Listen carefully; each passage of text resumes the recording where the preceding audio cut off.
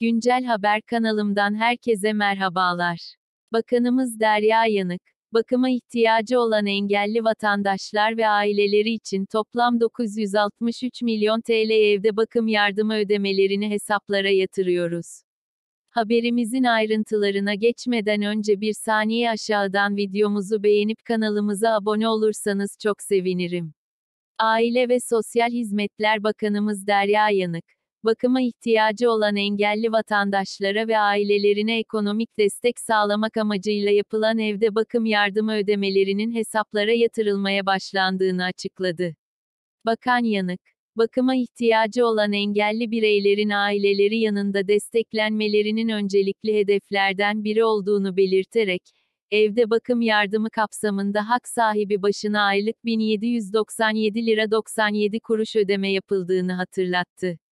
Engelli vatandaşlara yönelik politikaları aile odaklı sosyal hizmet vizyonu doğrultusunda gerçekleştirdiklerini vurgulayan Bakan Yanık, yaşamlarını kendi başlarına sürdüremeyen, ailesi yanında bakımı mümkün olmayan engelli vatandaşlarımıza kuruluşlarda bakım hizmeti sunuyoruz. Aileleri yanında kalan engellilere ise gündüz bakım hizmeti, evde bakım yardımı gibi hizmet modelleriyle destek oluyoruz. Evde bakım yardımı ile bakıma ihtiyaç duyan ağır engelli yakını olan ve bakımını üstlendiği için çalışamayan vatandaşlarımızı da destekliyoruz, ifadelerini kullandı.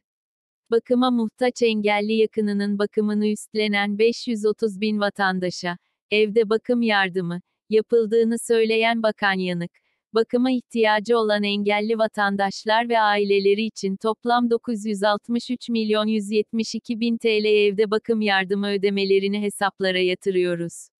Ödemelerin tüm engelli vatandaşlarımıza hayırlı olmasını dilerim, diye ifade etti.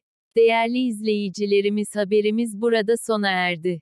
Bir sonraki videomuzda görüşmek üzere gündeme dahil yeni gelişmelerden ve sosyal yardım desteklerinden anında haberdar olmak istiyorsanız kanalımıza abone olarak takipte kalabilirsiniz. Hoşçakalın.